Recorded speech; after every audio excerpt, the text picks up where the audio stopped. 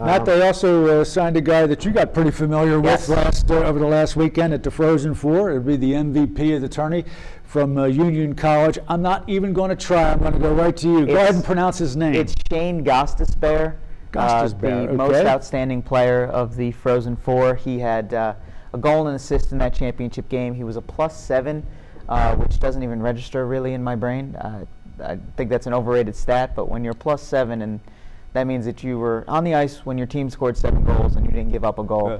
That's that's you know as, Well, as if you're as- plus seven for an entire tournament, that's pretty good. well, I mean, he was plus game. seven for a game. Yeah, Yeah, that's, that's amazing. Yeah, and even coach, uh, his level. coach Rick Bennett afterwards said, "Yeah, I don't, I don't really like that stat, but yeah, that's that's pretty good."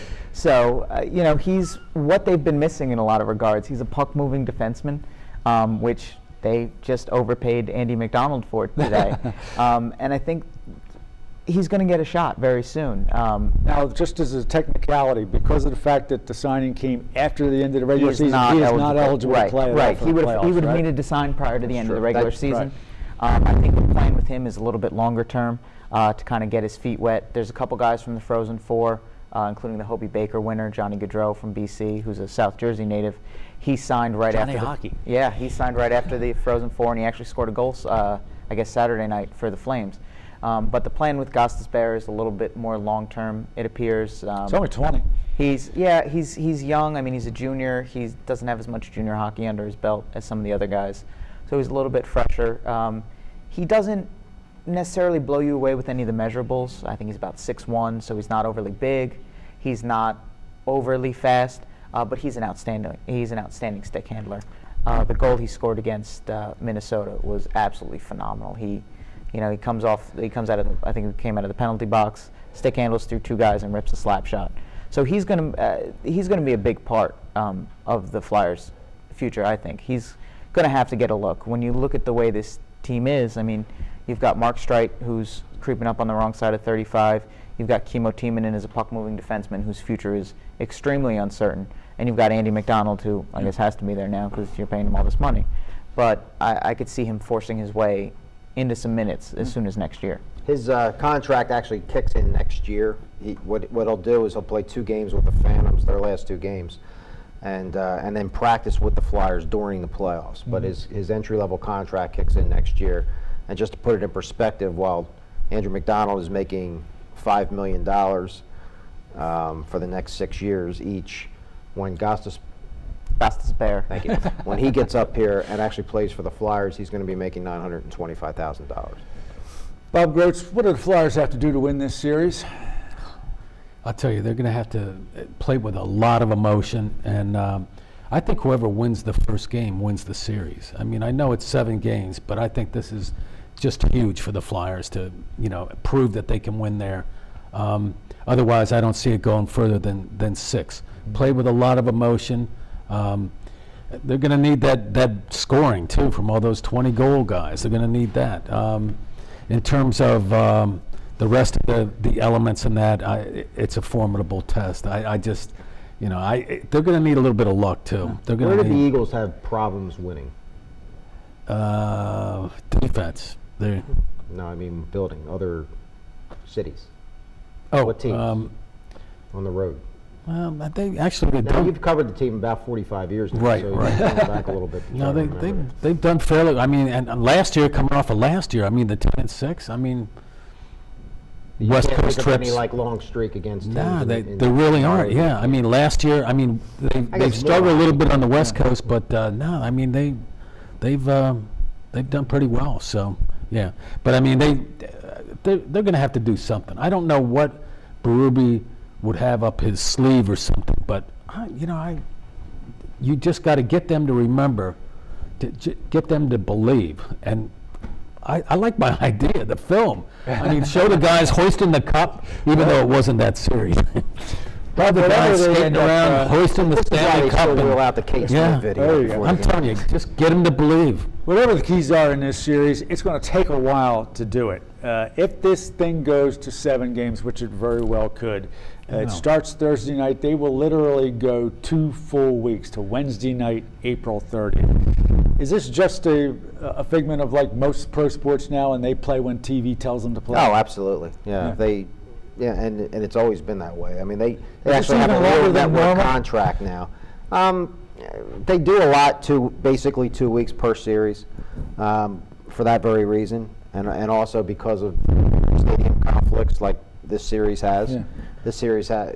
I can't believe they moved Miley Cyrus. Yeah, I can't either. I, you know, I'm disappointed too. It changed. I, all my whole, all my plans changed. We're going to get her to go on yeah. the line with Ronaldo. was- She's a bangers and all I was that, you going know. to a concert. Yeah.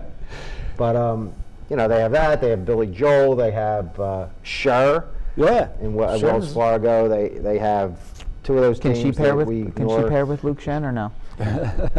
They have the wings. They have, uh, you know, uh, there's a lot of things involved with this. But yes, TV overrules everything. TV decreed that nobody was going to be at home for Easter Sunday with their families. We're going to skip two days and then play up in New Yeah. York for game So two. there's a long gap in there between Yeah. games one and, And two. you got those other series too. They want to yeah. pick out the good games and highlight them too. I mean, Matt, I wanted to uh, get a chance, since we are in fact here at Widener in the city of Chester, where there is in fact another pro team that actually operates and plays its home games here in Chester. Give us a quick update on the Union. Well, they will be in New York uh, tomorrow night. They have a midweek game against the Red Bulls. Uh, the Red Bulls, who are still looking for their first win this season, the Union only have one, so neither team is really setting the world on fire. It's going to be a, a matchup of two teams that uh, think that they've played better than the results have indicated this year, um, and you know uh, that's true to some degree. Um, but both teams are at the point where they need to start getting some results. Otherwise, they're Yeah. going to see things maybe get out of hand a lot. And it's, uh, it's a place that the Union have had some trouble uh, playing. They uh, got a draw there last year, and that's really their first result there. So it'll be a it'll be a hostile environment. Uh, we'll see how much Red Bull draws on a Wednesday afternoon, but or Wednesday Speaking evening. of uh, draw, the uh, attendance holding up here at PPL Park. So far, so good. Uh, they've had a couple of uh, not too pleasant weather days. Uh, the Montreal Impact game a couple weeks ago was absolutely torrential rain, um, but a better day on Saturday, and uh, the place was pretty full. Um, and I, I think that's something that, as the season progresses and as people start to realize that the season's back, you know, more people will flock there. Uh, last week uh, we talked about, or actually it was two weeks ago, we had the mayor in and talking about the state of the city. And one of the things that I wanted to talk to him about was, in fact, from my end of the uh, the coverage of it, is the relationship between the union and the city, which has been a little bit uh, touchy uh, in the last uh, couple of months or so. In fact, we had one of the most amazing turnarounds I've ever seen. We had, I believe, on a, a Monday early in the week the CEO of the union, Nick Sakiewicz, saying things had fallen apart with the city, and there's no question about it. We're looking outside the city to build our new practice facility. Two days later, they were saying everything's fine. We're building it right next door to PPL Park. Uh, I asked Mayor Linder what happened in those two days, and he basically said that they sat down and talked. Does that sound about right to you? Yeah, I think the quote that uh, we had gotten that day from, uh, I don't believe it was Mayor Linder, but someone in his office was that the, uh, the squeaky wheel gets the grease and that Nick was doing a lot of uh, squeaking on Monday. Uh, it seems as though there's been a little bit of a detente in the relations there. Um, the plans um, are a go-ahead for uh, the practice facility adjacent to the stadium as it is, which is something that the union have long coveted and uh, long sought to have happen. This Um, means, I guess, that they're in fact not moving into the rear end of the Daily Times building for their indoor practice that facility. no, unfortunately, we're going to have to find something else to do with that. Um, but yeah, that that wouldn't help their commute issues all that much. Uh, but I think right now they're in a, a better place. Uh, they've kind of come to terms with the realities of the parking arrangements that have kind of changed in recent years. Um, the city's doing some improvements down there. I think there's a couple other uh, avenues of uh, access to the uh, parking lots that have been Yeah, paved, and yeah. those will soon be available for uh, spectators down at PPL Park. So I think uh, things are a little bit better than they were.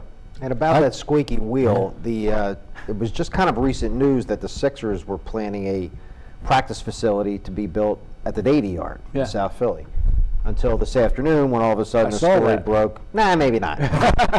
so they might be looking for a little Yeah. money action too.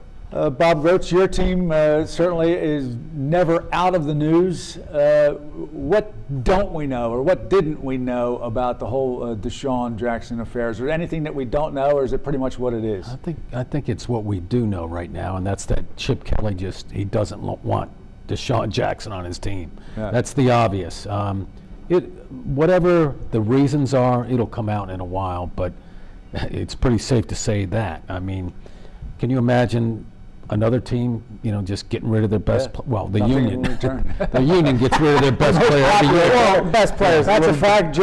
But they at least get something for him. Yeah, they trade him, you know, to the West Coast. So, but I'm, th- but that is that is unusual. I mean, uh, and we all know that. But you know, he came with the franchise. Chip didn't pick him, so. I mean that that's what we do know. It'll come out though, it, it- and it'll be interesting. I think it'll give you some insight. Robbie, you have uh, two days of previews coming up. Give the uh, viewers a, uh, an idea what's coming up in the next two days, setting up the series. Um, you get a fearless forecast of how every series will come out. If I get 50%, I'd be shocked. um, we will have a, a main story on the movement today with signing a couple of defensemen, one one very talented kid and one pretty talented veteran player for a lot of money. Um, and also just kind of an overview about how these teams match up. And uh, again, and you know, I'll, I'll put it out there. I just between the defense and the goalie, the Flyers are going to have to kind of do a lot of makeup work really fast on New York. Otherwise, they're a pretty close match. And I think it'll go at least six games and probably seven. Uh, we'll go end the show the way we always do with our lightning round. Uh, not uh, really uh, much of a mystery to this question. I'll go right down the panel and I'll put them uh, put them down here. Uh, let's make our predictions. Round one versus the Rangers. Rob, you're up. I think Rangers in seven. I think that home ice thing really will have an effect in this series. Matt. I got to go Rangers in six, unless the Flyers are able to somehow uh, escape this first two games uh, at Madison Square Garden with a win. Yeah. Uh, it could be a short, shorter series. I like the Rangers in six, unless, unless Berube gets one of those former Flyers to stand up in front of the team and start shouting and pounding the, the table and all that, and uh, gets them. Whoever wins the first game, I, I like a lot. There's no shortage of former Flyers who Yeah. will stand up and shout. and pound the Absolutely. table. Bob Yeah. Grotz has actually Who's just been coaching? named Who's the the big video defenseman? for the, uh, Yeah. for the Flyers. I, I'll be the uh, I'll be the odd man out, and I'll go uh, Flyers in seven. Uh, one other thing that I wanted to make a mention: uh, make sure uh, we are finishing up a week's worth of our latest All Delco teams, and tomorrow is in fact the big time All Delco boys hoops team. And the city of Chester, no doubt, will be well represented on that team. So make sure you pick up a copy of the Daily Times and look on delcotimes.com tomorrow. Uh, our thanks, really deep thanks to Dan Hansen and the staff here at Widener. We've had a tremendous run uh, here this semester. We're hoping to be back in the fall. We'll be back uh, in September uh, with another series of uh, Live from the Newsroom. Next Wednesday night, uh, we will be previewing another All Delco team, the Hi-Q team that we select uh, in conjunction with the Hi-Q tournament, along with the Teachers of Excellence Awards. That's in advance of the Partnership for Excellence Dinner in Education uh, that'll be held on May 1st, and that will be next Wednesday night. We are live from the newsroom every Wednesday night, 7 o'clock. We'll be back next week. We'll talk to you then. Thanks.